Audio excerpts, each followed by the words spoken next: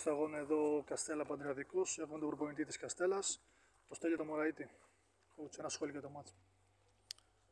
Ε, παίξαμε με την ομάδα που είναι πρώτη στον όμιλο. Καλή ομάδα, καλύτερη από εμάς. Αλλά δυστυχώς στο πρώτο ημίχρονο, σε δύο άτυχες στιγμές του τερματοφύλακα μας, διαμορφώθηκε το σκορ.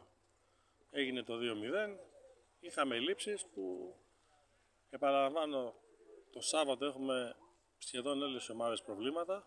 Μας λείπουν παίχτε λόγω εργασίας, δεν μπόρεσαν να έρθουν, αλλά παρόλα αυτά το παιχνίδι δεν το παρατήσαμε σε καμία, σε καμία περίοδο του αγώνα και με τέτοιες εμφανίσεις δεν έχουμε να φοβηθούμε τίποτα παρότι το σκόρ είναι 4-0.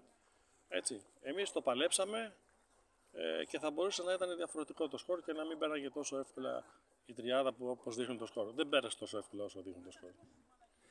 Σας χάλασε τα σχέδια το γκολ νωρίς που έβαλε η τριάδα, σας χάλασε. Οπωσδήποτε, όταν τρως γκολ στα ούτε ένα λεπτό, εννοείται ότι σου αλλάζει όλο το σχεδιασμό. Όλο το σχεδιασμό. Ό,τι έχεις σχεδιάσει πάει στράφτη.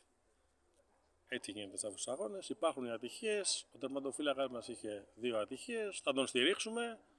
Ε, πάμε παρακάτω. Πάμε παρακάτω. Ευχαριστώ, coach. Και εγώ ευχαριστώ.